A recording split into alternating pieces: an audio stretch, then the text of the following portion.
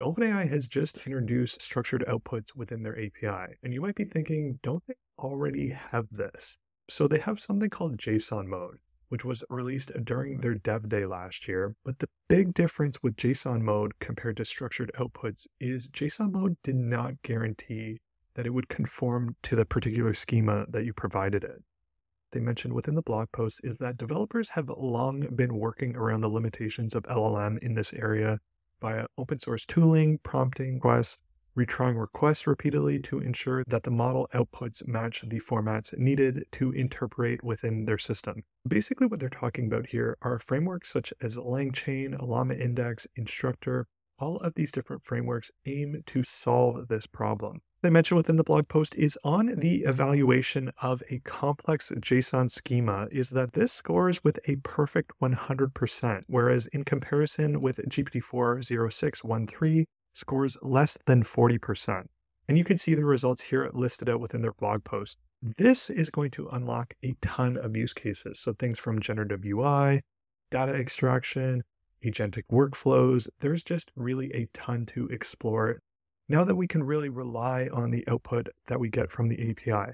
Because previously you'd have to do all of these different pieces on the back end to really make your application fault tolerant. So in terms of how to use structured outputs, there's two different ways. You're going to be able to access it from function calling. Here's an example with their chat completions endpoint, where you're sending in a message just like you typically would, the system and user. You're passing in the tools that you're using. And here's just to show you an example of a relatively complicated schema. They show you the output here as well.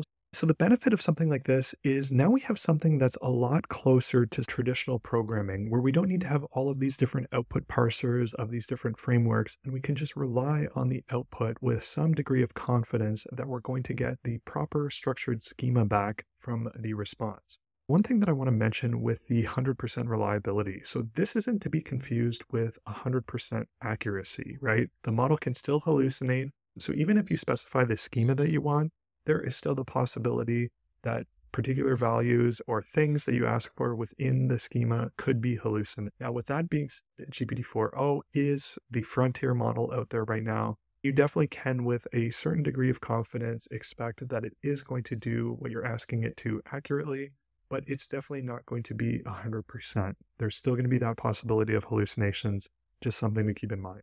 The other way that you can access this is through the response format parameter. And just to give you an idea, here is an example of a schema that you could provide it when you're asking for a structured output.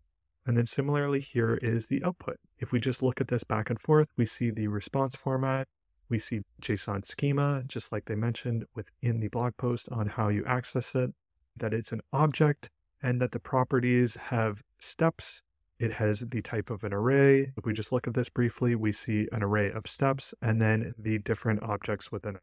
One other thing to note with this is they have safe structured outputs. It will refuse if it detects a unsafe or a violation of their safety policies. There is native SDK support, which is available within their Python SDK as well as their Node SDK. And there are a couple good examples within here. Here's an example. You are a user interface assistant. Your job is to help users visualize their website and app ideas. You can look at how they prompted the model here. We're asking for the JSON schema, we're calling it UI, and then we're going to have a dynamically generated UI. We're using that strict mode. The schema is an object. And then all the way through is we're going to be using enums based on HTML elements, which I think is a really creative way on how you could leverage something like this. You can say, okay, it has a div, a button, a header, etc.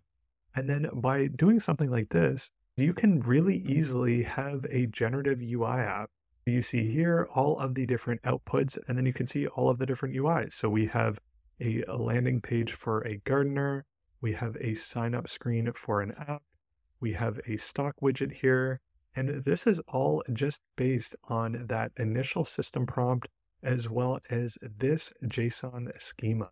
This can go a pretty long way because just to give you an idea, is these three outputs are completely generated from the same schema as well as the same system message.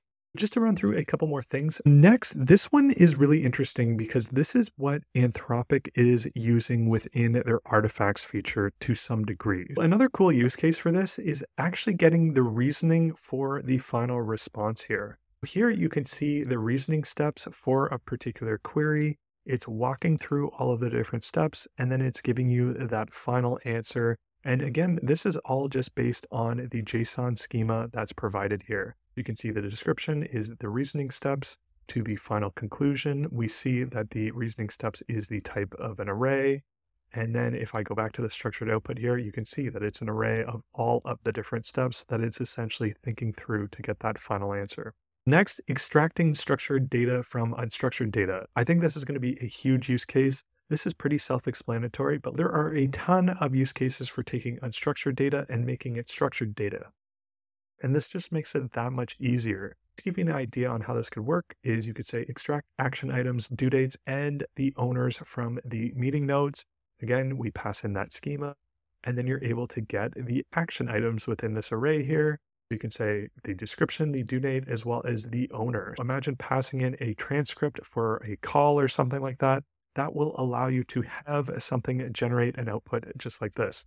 So overall, the DevX on something like this is definitely top notch. OpenAI has always been at the forefront of these new developer experiences. Just a few more things within the blog post. They touch on a little bit on how this works, and they took a two part approach on improving the reliability. First, they mentioned that they trained the newest model to understand these complicated schemas and how best to produce outputs that match them. And the other piece with this is that given that the models are inherently non deterministic, they took a deterministic engineering approach to constrain the model's output to achieve 100% reliability essentially there's that training or fine tuning piece or whatever it might be within the model itself, but then there's also an engineering layer on top before that response is actually sent to you. If you're interested in some of the more technical details, they are within the blog post, which I'll link within the description of the video where you can take a look. But before I close out the video, I wanted to touch on a few more things. There are a few limitations to keep in mind when using structured outputs. They mentioned that the first request with the API with a new schema is going to incur additional latency. But after that first initial query, it is going to be faster and there's going to be no additional latency penalty. It takes a little bit more time because it's going to actually cache these artifacts for fast reuse later on. And typical schemas can take under 10 seconds to process on the first request, but more complex schemas may take up to a minute. That's something definitely to be mindful of. You're going to definitely want to be aiming for something that you're going to have robust and reliable and not have to constantly tweak when leveraging this new structured output capability. So like I already mentioned, the model can refuse the output, or if it reaches the max tokens, it can also fail. They do also mention here that structured outputs do not prevent model mistakes. For example, a model may still make mistakes for the particular JSON object. It could get a step wrong. It could extract data incorrectly. There could be hallucinations. There are all those pieces that you still have within an LLM that you have to contend with. The other thing with this is structured outputs aren't compatible with parallel function calls. You will have to set parallel function calls to false if you're using this within function calling. Now, in terms of availability, function calling is now available on all their different models that support function calling. So now in terms of availability, if you're using this with function calling, you can use it on GPT-4o, GPT-4o mini, GPT-4, or GPT 3.5 Turbo, basically anywhere that you want. If you're using structured outputs with the response formats, it's available on GPT-4o mini, as well as a new version of GPT-4o.